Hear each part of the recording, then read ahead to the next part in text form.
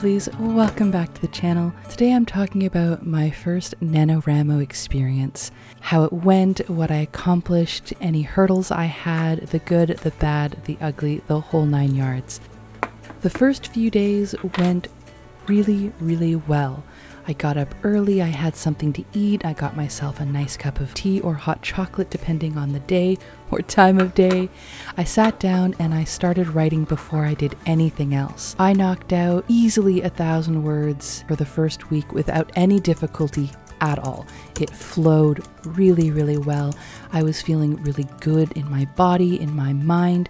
I was feeling super creative. Before NaNoWriMo started, I cleared everything off my desk, had a nice neutral white space, put down a white mat, white keyboard, well, white keyboard that lights up because it's super cool. But all of my gaming gear, all of my editing equipment, everything got stripped off the desk so there was nothing visually to distract me while I was working. This was slightly problematic in the evenings when I would video game with my friends. More on that on my other channel if you're curious. But here we talk about my stationery obsessions and my journey in trying to publish my first book. So I had this clean, neutral space to work in. I had my bulletin board with some motivational quotes and things that kept me focused, and this became my workspace for the month. In this first week, I really enjoyed diving into my characters. I spent months doing character profiles, doing surveys, doing graphs and plots and all of those things. So I had all this data. But that first week, writing those first scenes in the book where we're really getting to meet these characters and figure out who they are. What are they doing before the inciting incident? What have their lives been up till this point? Who are they?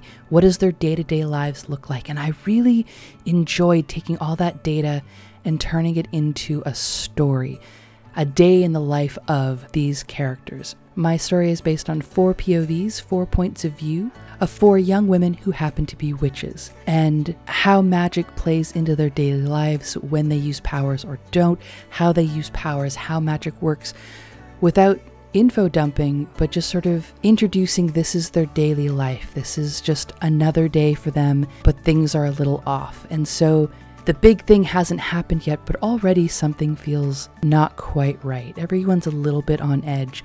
And this allows us to sort of see their daily life, their daily routine, what they would usually do, and then how they're sort of reacting to just that little bit of sand in their shell, that little bit of something's rubbing them the wrong way and how do they deal with that i loved writing this i had such a good time with it really hammering out what my characters have been doing and who they are who their friends are who they associate with how they deal with just the day to day, the little normal daily conflicts. Not like the big thing that happens and what did they what are they going to do with this, but like the little arguments. Who do they go to? Who's their best friend? Who's their confidant? Who's their support people?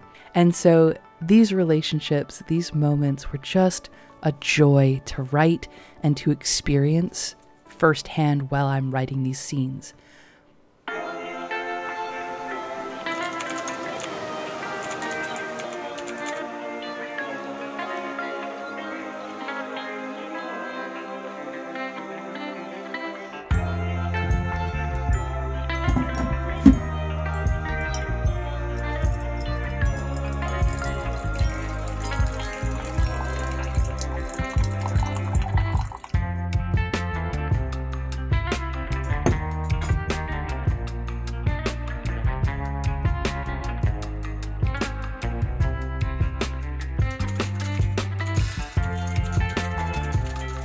Then we had the Easter weekend. Get things tidied up and get treats and dye eggs and hide eggs and egg hunts. Just doing family things and being together with the family. That didn't leave for a lot of time to get writing done. So thankfully, I wrote so much that first week that my daily word count, in order to achieve my word count by the end of the month, my daily word count became much smaller. Only reaching 500 words a day for a few days wasn't a problem.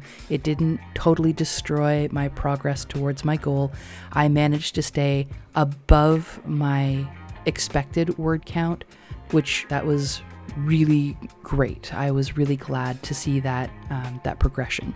But getting knocked off my schedule, not meeting that 1,000 words a day to 2,000 words a day ideally, that messed with my head and I kind of lost my mojo a little bit. So in week two, I struggled.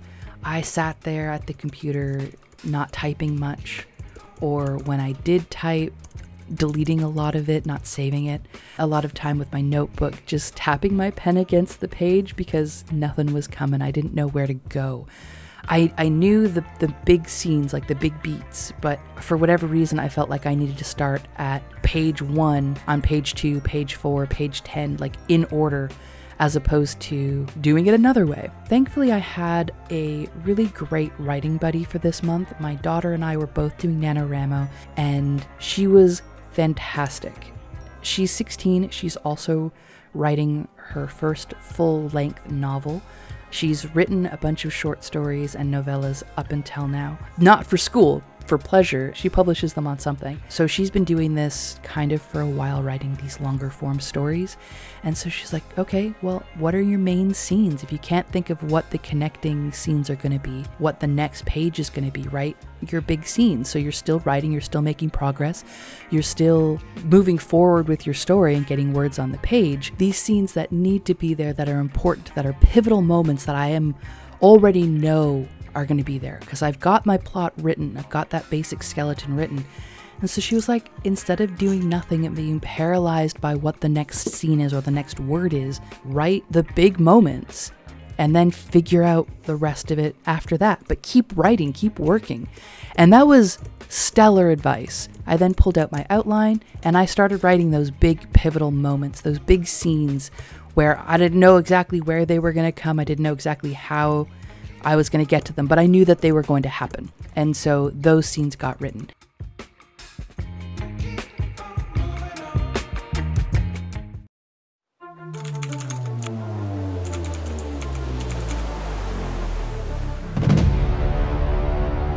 The blue moon called them.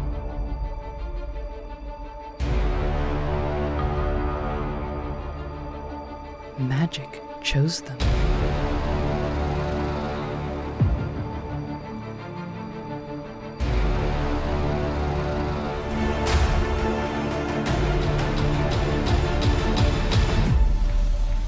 It has to be you.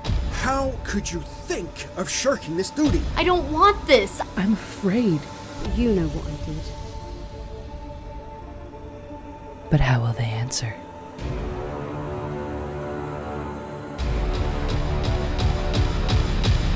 That brings us into week three. This is where I really started diving into those big scenes and hashing out these big, beautiful, emotional moments that my characters are going to go through. Those aha moments, those reveal moments, those really beautiful traumatizing moments, um, they got written out. And I was feeling really good again about writing. I was feeling like I was making a lot of progress, really getting to know my characters, really crushing them, and then trying to figure out what they're going to do next and how are they going to deal in these moments. Which again lets you get to know your characters and really feel your world. And that was fantastic. I met my word count goal of 30,000 words by April 20th, which was really early, and I was really glad that I reached that. But then I realized I still didn't have a book. like, I was not done. This was not over. 30,000 words felt like so many words at the beginning of the month. And then I realized I'm maybe halfway through this thing. Maybe. so, again, there was a bit of yay and a little bit of, ah, oh, crap. Like, what do I do next? What do I do now? And again, really great reading buddy. The next thing is keep writing. So I kept writing.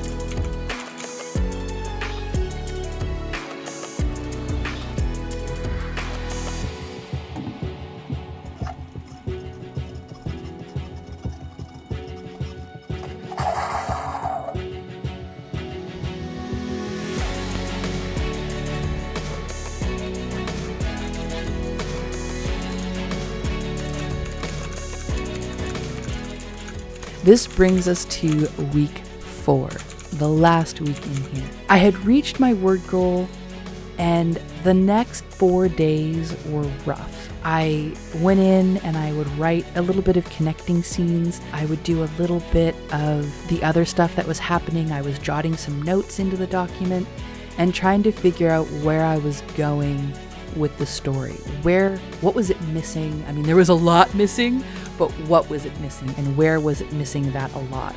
So this became a lot of brainstorming and writing by hand and thinking at my desk and thinking on the beach and just thinking. Um, and so I didn't have a lot of words that next week. Then that last weekend, I got really motivated. I was like, okay, I have two days left in this month. I'm going to knock out as much writing as I can. I'm going to try and push as hard as I can and really get my word count good and really dig into the story. And so I spent most of Saturday writing. And at the end of the month, my total word count for all of NaNoWriMo is 42,306 words from my goal of 30,000 words. Not quite getting to my personal hope of 50,000 words, which is what uh, November will be, which is 50,000 words, is like the big event, proper NaNoWriMo. It's a 50,000 word original manuscript. I learned a lot. I learned that just because I have plot beats and an outline, doesn't mean that I know exactly what I'm doing. That that is not the whole story. That is just the highlights. They're just the beats. What hurts us as readers, what makes us feel for those characters as readers is not just a hey, here's the adventure, here's what happened, here's hitting the highlights. It's why did they do these things? Why did they make these choices? Why are they flailing around with indecision or going gung ho? Why are they acting the way they are? Who are they? What are they doing? And that isn't always told in those big moments. Those big moments is where who they are shines, but getting to know the characters and getting to care about the characters happens in the little moments between those big scenes. That's where those character sheets and character profiles came into play and discussing who are these people what are they doing what are their foibles what are their flaws what are their motivations what are their goals what are their ambitions what are their dreams who are they? And that makes it easier to figure out what they're doing who their friends are how they deal with stress. It was a fantastic month of writing. But my book still isn't done. Um, and because I ended up getting so focused on the writing of it, I ended up not vlogging as much as I had hoped to. The first day, I got up right away, I did some writing, and then I took some B roll and I made a quick short. And I was like, I'm gonna do a short every day. Never did another one about NaNoWriMo. So that fell apart. And then I just went, okay, forget everything except writing. I was so focused on the mistakes I was making and the angle of the camera and all of this stuff while I was trying to film well working that those two things were canceled each other out. I was hoping to have a novel finished, but I don't. There is a second NaNoWriMo that comes up in July, so this month of May is going to be getting ahead on the channel again, focusing on content and the channel so that I can then go back to trying to finish my first draft. I do want to get it done. So that's how NaNoWriMo went. I crushed my goal before the month was over and completely failed in bringing you guys content about NaNoWriMo during NaNoWriMo. I make no promises on whether or not I will do better next time, guys. I will try, but no promises. If you enjoyed this kind of a video, please be sure to give this video a thumbs up and let me know in the comments below what you liked about it. It was a lot more work, so if you wouldn't mind giving me some feedback, was it worth all of the stress and trouble? What did you like about it? What didn't you like about it? How could I improve my content? I really do want to make things that you guys enjoy watching, so let me know when I'm doing well, please. Hit that like button, drop your comments and thoughts down below. Thank you so much for watching this video and for sticking around to the end. I really appreciate it. Be sure to check me out on Instagram if you're interested in hearing what I'm doing between videos, as well as check me out on TikTok if you're curious to see what silly little short film content I'm releasing over there. Love having you guys here. Thank you so much for your support. I really appreciate you. I'll see you in the next video, and until then, take care, lovelies. Bye.